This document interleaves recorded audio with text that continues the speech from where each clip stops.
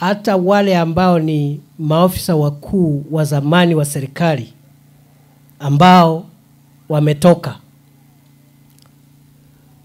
whether is retired president, retired prime minister, retired vice president, the retired senior state officers must live like retired senior state officers and they must respect the law of our country and respect the current holders of office.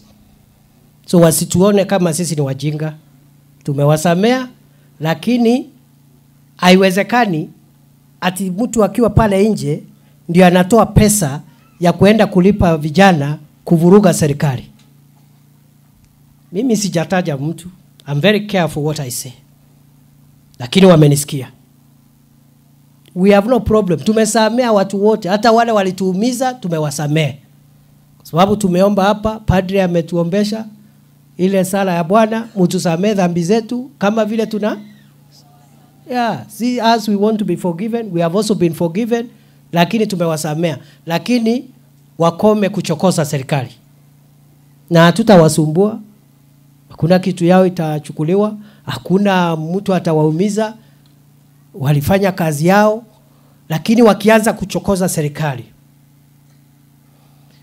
watakipata. Na wengine wako na madharau, kwa sababu hata siku ile walikuwa wanatuumiza, walikuwa tu na madharau, lakini this time sio kama siku ile. Things have changed. Sijui kama tunaelewana. Bogo wangu sasa ni tofauti. Huwezi dharau rais ameketi kwa kiti na serikali nzima, na uko hapo nje unajiita sijui nani, sijui former what, former what. Msilete hiyo mambo, na sisi tunaheshimu viongozi wote, viongozi wa zamani, viongozi wa sasa, viongozi wa kesho, tunawaheshimu, lakini muwache madharau.